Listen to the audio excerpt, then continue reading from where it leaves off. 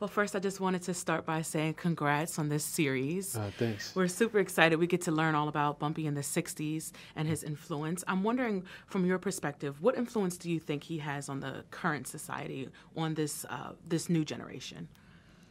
Um, well, I think that when he was coming up and when Malcolm and, and Adam Clayton and all that, they, they made certain really impactful decisions that happened in the community there were riots that were going on, the decisions that have affected today. You don't think about mm-hmm. that things all fall upon the shoulders of the past, but it's it's true. Yeah.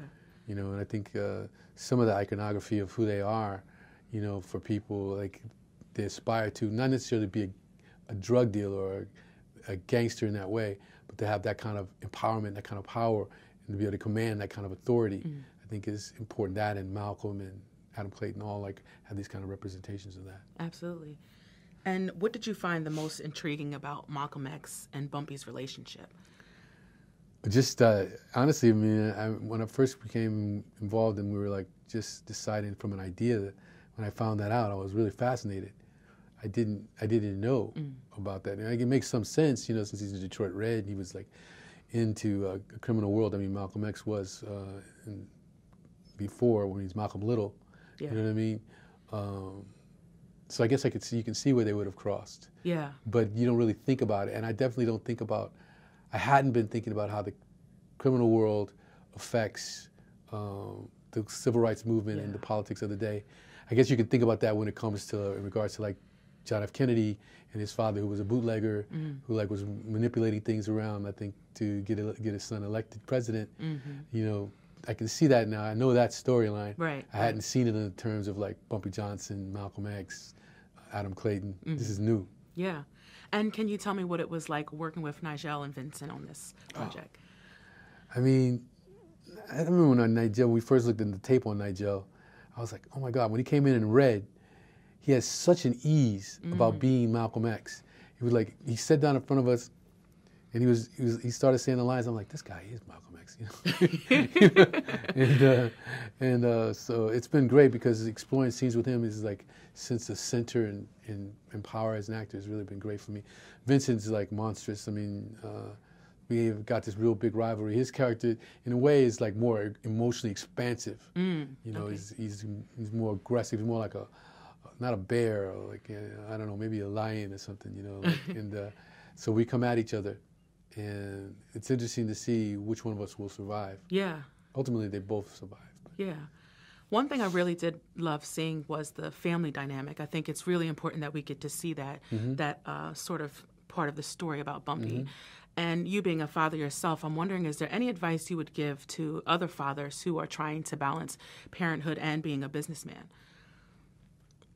I mean, I think I can only gauge it by by the faults think to actually give enough time to be able to be there is really important. And we pass by that sometimes. I think that's mm-hmm. that uh, leaves a lot of room for like mistakes and concerns and mm-hmm. people's sense of self and stuff like that. And my last question was there anything or what was the, the most prominent thing that you learned about Bumpy that you were surprised to learn? And I think it was understanding what we were talking about when it comes to like how he how his world connected to like the expansion of his community, you know, and, and how that related to like the advancement of the of the race itself. Mm-hmm. And I, I guess I didn't really think of him in those terms. You think of him as a gangster who runs a community, runs runs runs Harlem, who gives away baby turkeys and stuff mm-hmm. on the holiday you don't really think of it as like the strategic movements of what had to happen yeah. in order to be able to control the community itself and millions and millions of dollars that were being moved in and out all the time. It's uh, controlling the economy and the emotional, cultural uh, perspective of the community itself. Yeah, absolutely. Well, thank you so much for speaking with us, and congrats again on this series. Thanks. Thank you. How did you know that this role was the perfect fit for each of you? Uh, the perfect fit. I'm still trying to you know figure that out. It's it's always a work in progress. You know what I mean. So to say that it's a perfect fit, I uh, can't really commit to that. But um, I say that it's it's an honor to be you know given this opportunity to do as best I can with the role. Um, I play Malcolm X, and uh, it's a lot of work that goes into it, a lot of uh, research, and uh, spend a lot of time just trying to find out as much information as I can, trying to uh, embody Malcolm X as much as I can. Um, and we have a consultant on the show by the name of Professor James Small, who uh, has been very key in uh, helping me along the way. Yeah? Yeah. Yeah, he's an awesome guy. Man. Yeah. And because you played Malcolm X before in Selma, did that role or the research from that role help prepare you for this one? How did it inform each other? Of, of course. I mean, it, uh, that's kind of where the research began with Selma. And then um, started by, you know, going to a lot of like old video stores that only carry like VHS tapes from back in the day, you know what I mean? And took that research and went to YouTube, did a lot of as much as I can on YouTube, so much so that I'm like listening to Malcolm X speeches in my dressing room down up until the time we say action, just so that I can get the cadence and the tone of his voice and the nuances of his voice and embedded in my mind as much as I can, right up until it's time to shoot. You know, so um, yeah, I, it, it's a pretty involved uh, process. You know, and like I say, it's still a work in progress, but um, I'm just uh, hopefully uh, the people's response will be positive and um, you know and again hopefully if we get a chance to move forward with this the performance will get even better Absolutely. And Vincent, for you, how did you connect with your character? Well, I don't often um, play Italian Americans. I am Italian American. Um, it's a it's it's it's not the it's not the kind of part that would would be the first thing on my mind to play um, because of all the racism involved in it and stuff. Um, I remember when I was younger, when John Singleton started making films, and he asked me to do something once, and I, the part was, was he, the the character was so racist that I just, I, I, I just asked him to just please just move on from me and find somebody else to do it. You know, uh, I like John so much as a filmmaker, and but it was just it was just a bit too heavy for me for the way I grew up. You know and um, uh, but uh, this this is a particular thing. This is a what we're doing here in Godfather of Harlem is a is is very particular. It's a it's a story that that I think can help um, right now going on the the rise of, of the black community back then. Um, I, I think to to have that in a show now is is is super important. So I think that my character is the is the is the um, represents the threat of that black community rising up, and and you know I, I think that that's important. And, and so I had to um, commit to play it full out and and not pull any punches and not try to soften the character at all and stuff. Um, so I mean that's that's why I'm here doing it. Yeah. That's the re- those are the reasons. You Yeah. know? um, uh, and uh, it's uh, you know it's so so it's more than uh, it's more than just a, a, a gangster I'm playing. It, it represents the the role represents in this show a lot more to me than that. And then I'm wondering too how this father and daughter dynamic playing out for you. Yeah. So could you talk about uh, this It's troubled not difficult. daughter? I have a daughter. so could you talk about that, bringing that to Uh. I'll tell you a little bit. I won't tell you everything. um, it's tough, you know. It's tough at being a dad and watching your your girl grow up and and uh, get into relationships and it's uh, you know you, you thank God for the women in my life telling me to stay out of her her business. Um, it, it's it's tough. It's tough yeah. and and uh, so I can totally relate to that. There's some scenes in this in this show that that it, it in, in in this particular show it has to do with my my um, white daughter seeing a, a a black man, Yeah. you know, and so I can just substitute that for my life easily. Like it's like you know, um, I may not have any trouble with that in in my life, but there's other things that Yeah. you know that that I worry about for my kids.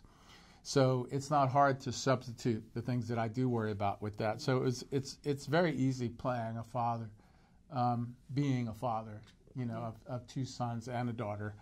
So it's uh, it was you know, and and also the actress is you know, di- you know, the, we did scenes that were just.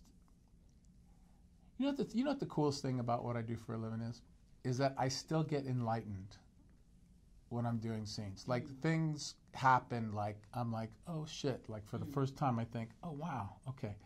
So for that to still be happening because of what we do, you know, at my age and as long I've been doing this, it's it's, it's have playing playing these scenes with a daughter were like was like that for me. I was I was I still get enlightened. Yeah. If there's one thing that you hope the viewers would take away from this, what, what would you say that would be? I would say I would hope they would take away that it's a quality, a quality television show.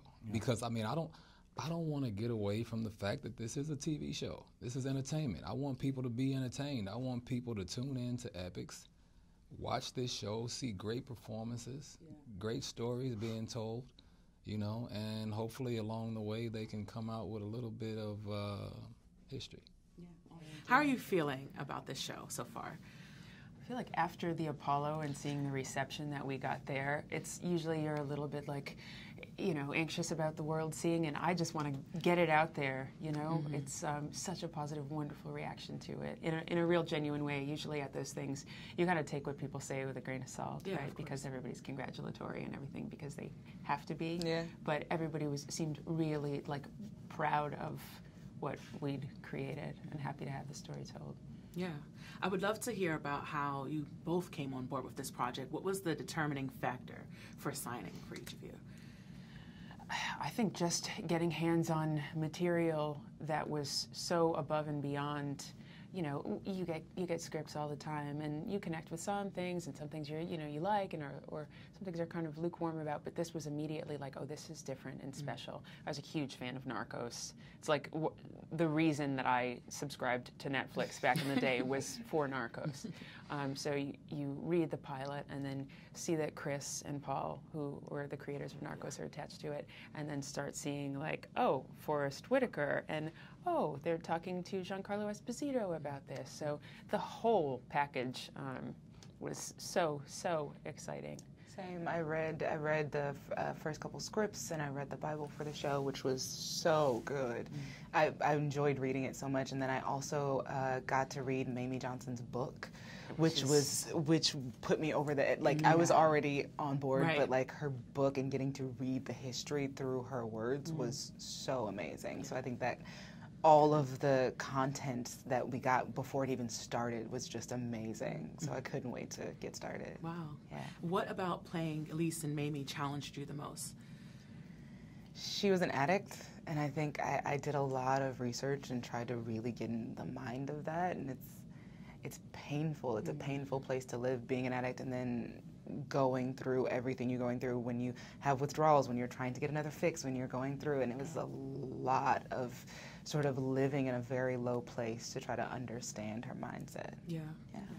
But with Mayme, she's um, she is such an incredibly strong woman, um, and I've said this before, but she's not a tough woman because I and I think there's a real difference between being strong and then being hard, and she's not at all been hardened by her experience, um, and I think it was very important to definitely to me, but also to Chris and Paul, um, to find that sweet spot where she is strong and you know commands respect, Yeah. but is you know is still uh, likable and and maternal and sweet and soft in the ways that she is and was. Yeah. So that was that was challenging. And what was it like for each of you working with uh, Forest and building that chemistry? For me, it, it was it happened in a really organic way, I think, and and I think our storyline lent itself to that, building the building of chemistry, because when we meet him, he's been away for 11 years, right? So they get to really relearn each other. In episode one, they start in one place, and by 10, they've really, really grown. Yeah. Um, and just, he's so easy to work with and lovely to work with that not hard. Say, I know. think it was a very from he was in my like second audition for the show, which was crazy, but it, was like, oh, hello. Um, but from it- it- literally in that first audition, just getting to go back and forth, he's like the best scene partner aside from Milfinesh. No, and like it was really, it was just really easy. He was so easy to work with, um, and that just made me feel very comfortable. And he's just so good at his mm-hmm. job. I mean, like just getting to watch him was really nice in the beginning. like, Like, I would just sit on the lines 'cause you're, side like, watching. Watching for us. It you're was like, Oh, great. that's my line. Now I have say things answer. now. Cool, cool, cool. Right. Yeah. What do you think is the most rewarding thing about telling this story in 2019? I think for maybe the capacity for it to be a teachable moment, right? We're seeing a lot of what we explore in the series kind of going on now with our with our politics and socially with this horrible opioid epidemic we've got going on. So maybe the ability to learn from experience. You see what's happened, what's happening again, and kind of where we maybe move away from that and learn from from what's happening in the 60s, what's happening now to build a better future for whoever comes next. Yeah. Can you tell me how you're feeling in this moment? really like gonna be like I'm so excited about the show coming out and uh, and also you know as we're talking about the characters it's a lot of the emotions from the relationship that my character had in the show which is very tumultuous and talking about you know being in love and young and up against great obstacles um, that it's you know talking about it kind of brings it up again because yeah I really invested in the character Hmm. I'm just, I, I'm hopeful that people will take some hope from it because I think it's an important time period to talk about in terms of that kind of revolution that went on and it speaks to the times today. So I hope that comes across for viewers and that they watch it and that they like that and, and feel it. Absolutely. Yeah. What do you think is, from your perspective, what do you think is the goal of the show?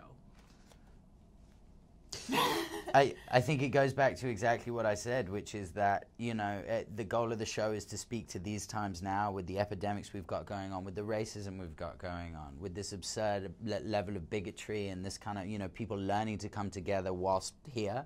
Um, and, and, and, and the hope that, that we get from watching that revolution on screen might bring us a bit closer to trying to do that again. Right, like the polarizing times that were then and now, and the level of fight that is required to overcome Yes, them. yes. Which in 1963 definitely had that, and the show really captures that. And Yes. so hopefully people connect to that now too. 100%. Absolutely. There's a lot of great content out there. There's some amazing shows out there. But to you, what do you think makes good television? Television, something that makes people want to come back week after week and tune in. Really good characters, getting behind the characters and wanting to see them overcome these great challenges and yeah, I really feel like, especially following Bumpy's journey throughout this series, every frame I'm just like, I want to know what he's doing next. And then all of the supporting roles, like Rafi's character in it, I'm just like, the volatility in his character. I was like, oh my gosh, like,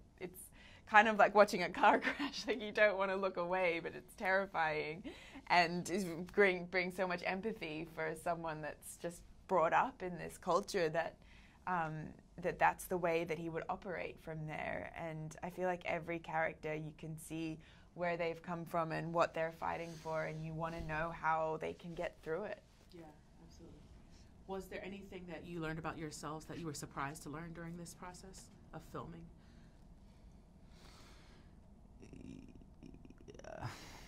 Yeah, yeah, that we have a lot to work on still, you know, that really, and eyes have got to be open and ears have got to be open, humility's got to be had, and we got to start listening properly, you know. And I feel like I do enough of that, but I realize that I don't do enough, and that there's, in this time now, so much more of that needs to be happening for all of us. So it was an encouragement to me.